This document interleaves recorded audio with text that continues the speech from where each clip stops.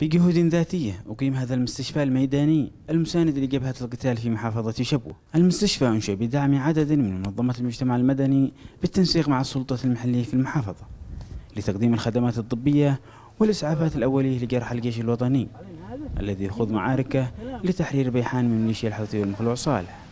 نقدم لهم المساعدات الأولوية والإسعافات الأولية والعمليات الصغرى ويتم إرسالها الحالات التي تستحق إلى الأخصائيين إلى مستشفى عتاق المركزي أو إلى منفذ المملكة العربية السعودية.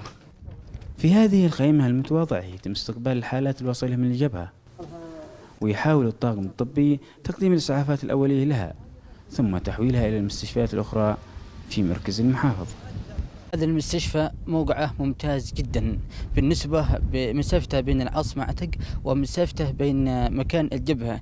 هي نقطة تواصل الإسعاف سواء كان نقل دم أو سواء كان ترقية الموقد أو تضميد الجروح بسرعة وإيقاف النزيف.